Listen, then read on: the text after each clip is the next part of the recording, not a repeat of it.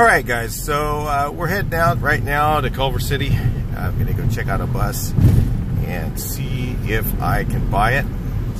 Put on autofocus again.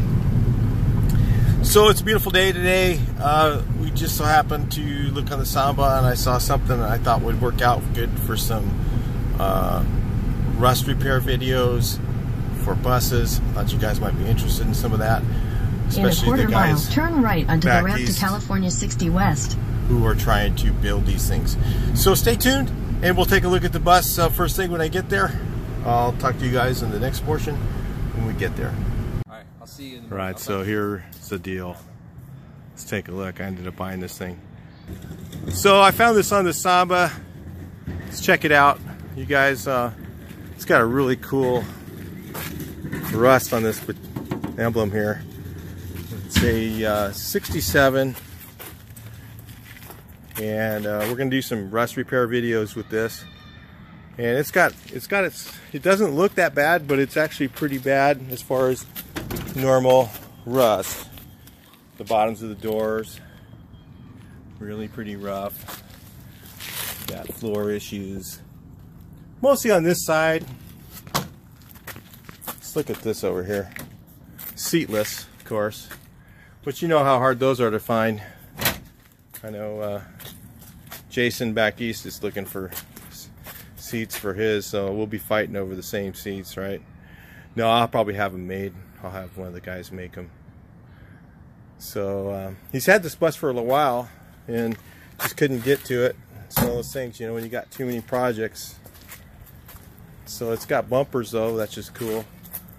You know, those rear bumpers seem to get rear-ended. Let's look at the back rust here. Yeah, it's rusty. Yep. It looks the typical VW bus rust. Westfalia tin top. Ooh, it's got big nut axles. Look. The good old rusty thing here. This is real common. They're always rusted out. You guys that think you're not going to get into rust repair with a bus, you're going to have lots of it. Look at this. Yeah, there's some rust. Yep. Yeah, it's fixable. Isn't everything? It's cool. It's got got the spare tire well. It's probably rusted out though, I bet. I don't know. You haven't looked yet. What do you guys think? Hard to say. Yeah. Uh, is it savable? Maybe. It's got a spare. yeah. These go with it too, or no? Yeah, you have those. Oh, wow. That's obviously 66, 67. Yeah, 66, 67. And then uh, the other Cool. ones are four levers. Yeah, somebody needed one of these a little while back. Maybe I'll give it to them. They that's always- original paint. I mean, but you know, it's, It's cool. obviously patinaed. But yeah, that's uh, pretty cool. Yeah, I ended up funny. I I seen this guy at the Samba I bought this thing from, so Small we were at, you know at at uh at Octo, you know I've seen him there. You with your son, I think. Yeah, so definitely but yeah, every time. yeah, check that out. So yeah, this is rust, man. How about that hole? Yeah, that's a good one. Man, look at that. Somebody patched this once. I was like, what'd that do? I guess it made it so the door shut, I right? think so. I think before that they, they were just spearing in up here, Wow. and then this hole. I love the dirt. You know, it's Yeah. like, geez. This hole is actually supposed to be there. That's for the sink. Oh the- yeah, from the yeah. It has the sink. So these are rust. That's factory hole. yeah, it's all the interior's gone, but Yeah. I, I don't know. It'd be I think it'd be cool. I might get one of that that interior from Florida. The guy who makes it, the repop.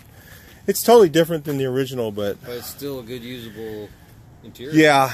Unless Robert wants it, I, I think I have a feeling he's gonna talk me out of this thing before I get it done because he's been looking for one forever, Good bet. and uh, we'll see. Look how bad it is here. There's a little rust everywhere. I'm gonna treat it all. Show how to save this bus. Totally savable. Look at the front. It's not too bad. I mean, it's pretty straight. That's the thing I was pretty amazed about. The rust here, we got the vent rust. No, not too bad. Doesn't have the vent rust, but it's got the roof rust right here, which is, it's not going through, I don't think. It's pretty solid.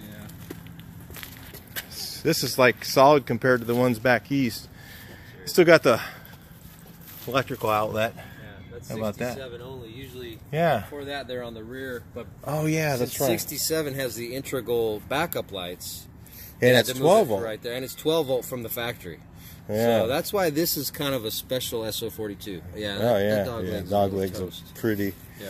Yeah, maybe the whole. Eh, yeah, maybe the whole thing. I'll do the dog leg replacement. I think that'll be that'll be a good video for some of you guys to watch.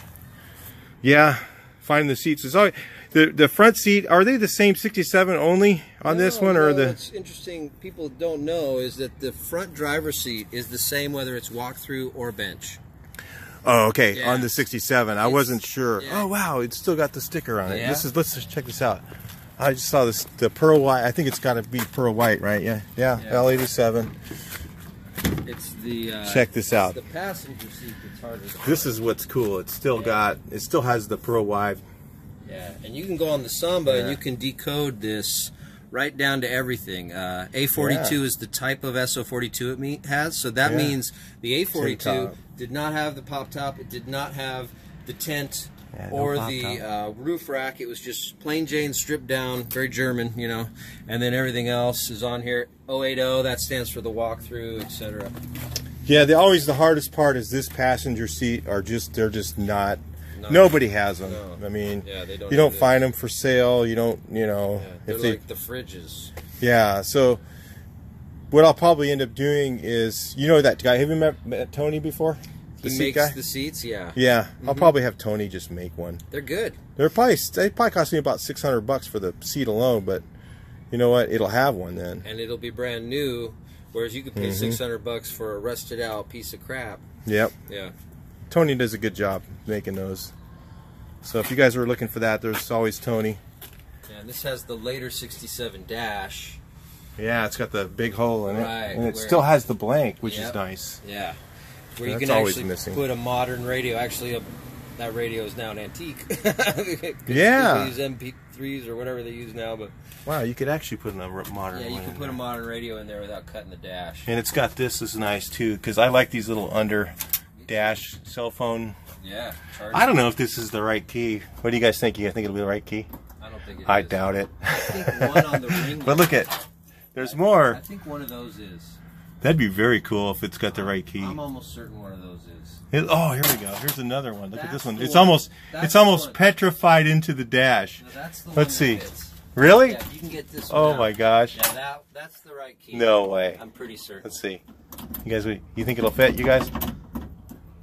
Uh, No? uh, you know what? It might. It just so it needs some oil. Yeah, a little bit. yeah, it has the correct stuff here too. The correct knobs. 67 only. Yeah. One of these does though, I'm telling you. I bet you one does. I'm gonna. And look at this. The floor mat's even. God, it's not terrible. Floor mat's almost clean it up and run it. Yeah, seriously, usually they're And look at this. I even actually got a trailer. Tried to get a AAA last night, and uh, they were like, "Nope." It was like four hours wait to got that here. That's rusty. Yep. Corners are bad. This is normal stuff. But the thing that trips me out is look at the paint. Let's see how this thing cleans up when we get it home. So I was gonna set up my camera, forgot my tripod, so that didn't help. Kind of get the winch set up right now. We're gonna pull it up on the trailer. Yeah, that rim. That's rusty. I don't know what under. I haven't even looked underneath. What do you guys? You guys can look with me. I don't know. Yeah, yeah, it's rusty. It's typical stuff. It's not. It's bad, but it's not that bad. It's kind of got that red heavy rust, but it's not that bad. So it's totally fixable. Let's look at the. Uh, it has door handles, but they're crap. Look at that. It's wasted. But they're all there, you know? So that's the thing that matters. I'm Gonna get it up there on the trailer in a minute. It's got a little rusty spot in the middle of the roof. It looks kind of ugly. It's got flow, flow through ventilation right here, right in the corner. Yeah, it's got the whole. Yeah, it's got good uh, engine ventilation, so won't run hot. That's just crusty in here. Up under here is pretty, just surface rust. Gonna have to do something with that though to keep this thing from rusting away. So it looks kind of cool being original paint, but it's had a lot of. This part here is rusted out. Might have some of that metal. I don't know. This this is the part I'm not sure about. You know how bad that's going to be when we clean it. How much metal's going to be left there. Anyway, we'll we'll get it figured out, assess it, and get you guys back here in a couple days once we get it home. Get it unloaded. Get it up on the trailer and take a look at it. All right, so we got it on the trailer. Brought it back to the house here. Let's take a look at it. It looks like actually, I thought it was the original paint, but it's actually not. It's actually, if you look in here, um, that is the original paint because this looks too gray. I thought, you know, I don't know what it's protecting. I mean, I don't know what's underneath the original, what the original paint looks like. Um, but uh, it's a, uh, and I can't decide how we're gonna do this thing yet. So I just thought when you guys want to see it. So the the rust is pretty extensive. I mean, that's cool because it'll make some good videos on how to fix this stuff. Um, the dog legs are kind of funky. They got holes in them pretty much all the way around on this one. Some of them I get are worse than others, you know, it's like, and then, uh, looks like they fixed a lot of this with, I don't know, maybe it's beer cans here. This is the out, you know, these are always bad. The outrigger here and the, uh, uh, jack points are always toast. It's got a lot of little bit of rust here. The, the edges, whenever the floors are bad in the front, there's always a section of this part that's bad. So I usually just make that little section. I cut it up about about to about right here, and I'll make that. Um, yeah, it's pretty pretty rusty. The bottoms of the doors here are pretty wasted, up to almost the hinge, right in here. So it's pretty bad as far as that goes.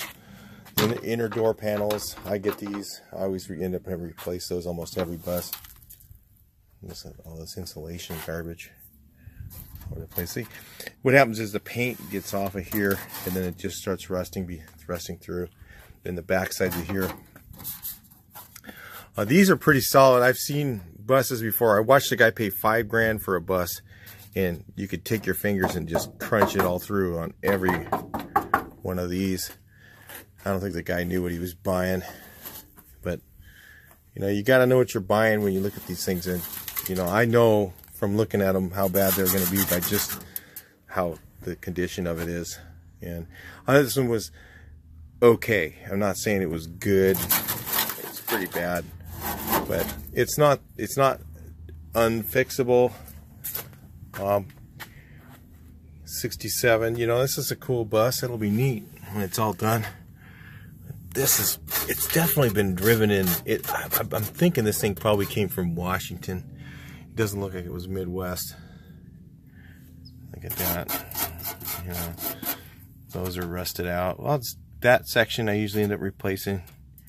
This one almost always is bad right here.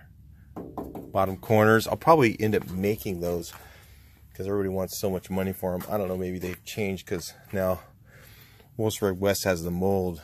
These whole corners used to be like 500 bucks for the whole corner. And now they're like 250 I think which I still think is way too much money for just a simple pressed piece of metal. If it was a Chevy it'd be half of that. This is where some pretty extensive damages is in the inside here but I think uh, once I think it's pretty solid but it just looks bad. So uh, yeah, we're gonna wash it up, clean it up, and we'll have another video on this here in a few days probably. I'll replace this section here. It's that's no good, but it does have bumpers. So the reason I thought this was a fair deal is because it has it's very complete. It has taillights, uh, turn signals, bumpers. Um, it is missing the headlight buckets, but that I have those aren't hard to find. I mean, yeah, you can get a bug one and they'll work, and that's what I do. I'm not, going to buy bus ones. The bus ones are just way too expensive. And the difference is they just have a little drain hole underneath. So the headlight buckets, obviously, you can see obviously the guy took all the parts off of it and sold them. You know, he probably couldn't get enough for the bus the way it was, and he figured, well, he'd get his money back by selling all the interior and selling the seats and selling the other parts. That's kind of usually how it goes. A lot of guys do that. I mean, I don't know. You got a nice guy and everything. I'm just saying, you know, hey, if you if you're in that situation, you do what you got to do. Uh, the rest of it looks pretty good. I mean, yeah, there's some crusties in the corners here. It looks like a lot of that stuff is just surface and not too heavy. So it's not bad. I don't know about the cargo floors yet. I think they're probably wasted. Because I'm looking at the outriggers here, are these, I don't know what they're called, It's the support rails or whatever. Mm, frame looks decent. Not bad. It's savable. So that's a good thing. But if you look here, those outriggers there, that's all wasted. Always wasted. So, and of course the uh, tube front to rear, that's missing. I actually have that tube. You just buy it in exhaust tube, get the right size, and just cut it to fit. Other one, you can buy the tube at Wolfsburg West, but you're gonna pay a lot more for it. I still have my brake parts for my 66, so maybe I just put those on here for the front brakes. Then we'll have brakes that can stop. Got an engine sitting around here I can just throw in it just to move it around. I'll make it into a runner and then I'll start cutting this bad boy up. Do a lot of welding videos on this.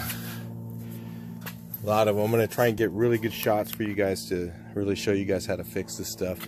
It'll show you different ways to fix things too. Some guys just all show just about welding everything and I'm not going to do it that way because it doesn't bring any more money. I'm going to do it daily driver style so that when it's done so that when it's done it's not doesn't want to go to a museum and sit there. Somebody gets to drive it and have fun with it you know?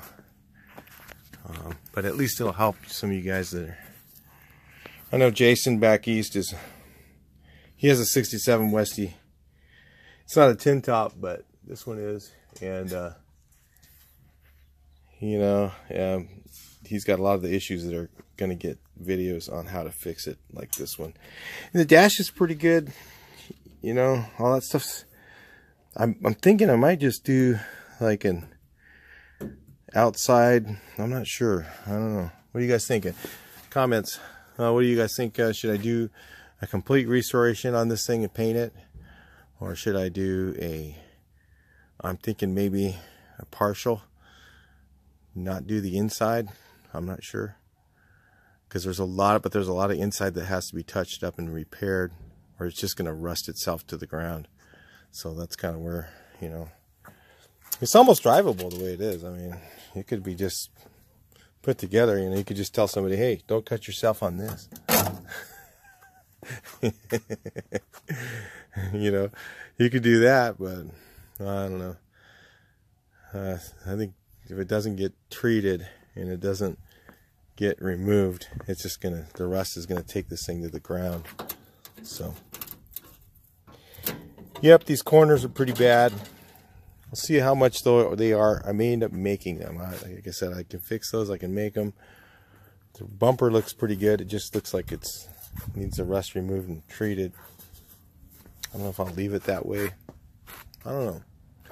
It's kind of cool looking the way it is, but I don't want it to, like I said, I don't want it to rust itself into the ground. I think, without a doubt, I think this is all going to have to get done. I mean, in here, I can't just put an engine in there. It has to get uh, treated, probably and removed and painted, at least in the, this area, or it's going to be it's going to be a, a, nightmare for later. It's just going to get so bad that I think underneath I'm going to have to definitely treat it, remove it, and either do something, paint it or something. So, so it's got something to protect it. Or you know, we could always use uh, bar and chain oil. I'm not saying that doesn't work. Uh, Busty One loves to use that. He's bar and chain oil. Um, good guy. Uh, and it's not a bad idea if you're back east, but I don't like it because um, it's too it's so greasy to work on. And the stuff I use actually adheres really well and stays on. It doesn't get that gap. I'd like to see what's underneath here.